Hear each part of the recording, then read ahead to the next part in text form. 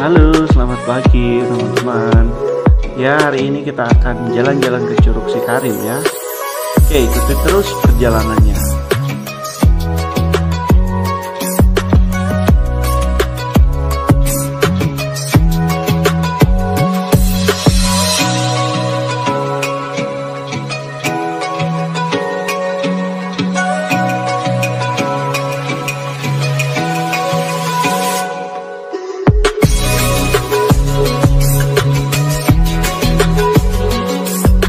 Teman-teman, balik lagi di channel Arif Ahmad.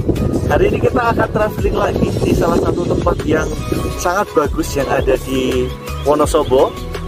Di sini teman-teman bisa lihat nih pemandangannya. Wih, bagus banget, udah kayak di Eropa. Udah kayak di Swiss kan? Ini bisa dibilang nih kayak Swissnya yang ada di Indonesia yang ada di Wonosobo. Jadi teman-teman di sini pasti akan dimanjakan dengan keindahan pegunungan yang masih hijau dan juga lahan pertanian di sini yang sangat subur. Para petani di sini menanam kentang dan masih banyak lagi tanaman-tanaman andalan yang ada di sini.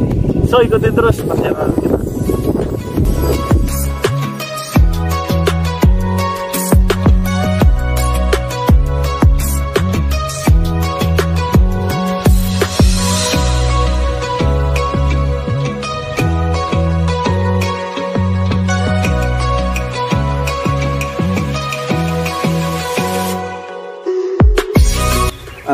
Teman-teman, nah hari ini kebetulan sekali uh, apa lagi ada panen kentang.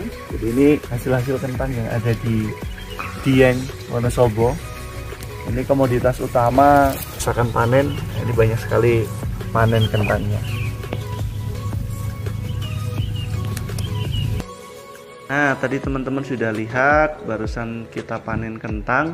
Memang di sini kentang tumbuh dengan sangat subur. Bukan hanya kentang tapi banyak juga tanaman-tanaman lainnya, terutama sayur mayur. Oke, ikutin terus ya.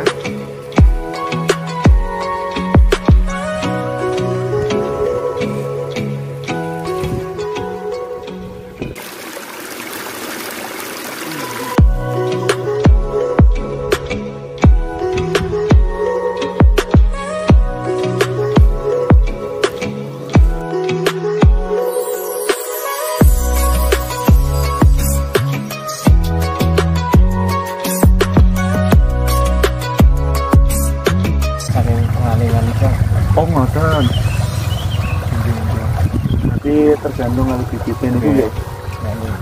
bibitin pun buatan saya hasilnya apa cok saya Kentang ini berapa bulan sekali Pak panennya Pak?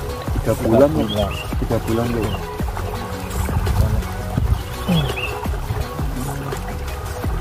Jadi selain kentang yang cocok mau temongan Pak? Kentang, ada air loh mau terkali kencang itu potro kali loncang itu ya. eh wanone kan langsung makan apa kan wanone tuh riko nggih.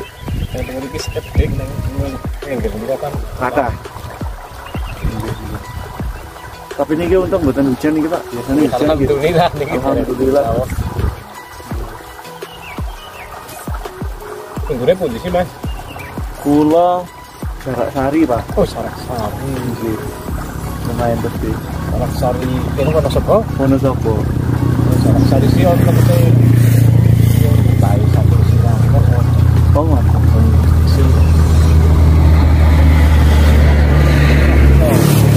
Mas kalau nah aslinya buatan jarak sari Oh. pak, aslinya saking Jawa Timur. oh salah ibu Nggih, saking mriki. Ini rasa di bahasa Jawa ini kalau rasa belajar. Jawa Timur. Jawa Timur kan ini Oh, Jawa Timur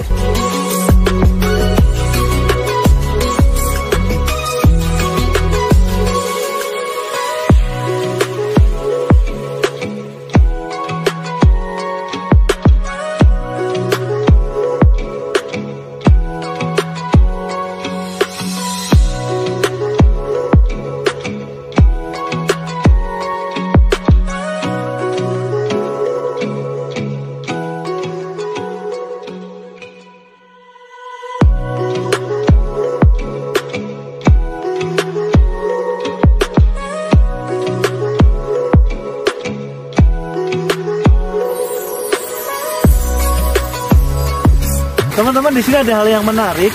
Jadi kalau teman-teman mau ke Curug Sikarim melewati perjalanan ini di sepanjang jalan kalian akan melihat tanaman ini. Ini adalah tanaman wasabi, teman-teman. Yang kalian sering makan makanan ala-ala makanan Jepang. Nah, sebenarnya wasabinya itu diproduksi di sini atau ditanam di sini. Tanaman-tanaman ini nanti akan diekspor ke Jepang ya dan tanaman ini banyak sekali di sini. Jadi teman-teman harus bangga dengan Indonesia karena di sini keren sekali tanaman di sini sangat bagus sekali di sini pertumbuhannya.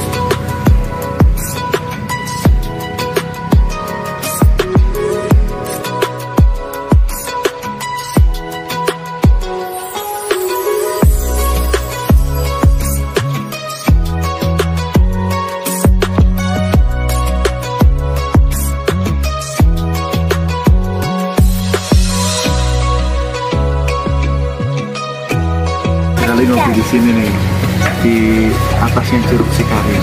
Mantap nih. Wah, Iya, iya, iya. ada asapnya tadi ada.